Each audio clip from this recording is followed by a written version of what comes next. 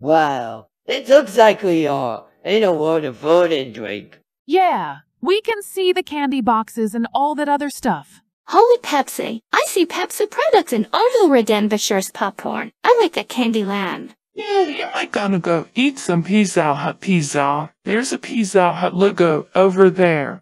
Okay, movie you guys. Movie World is the best place to see a movie.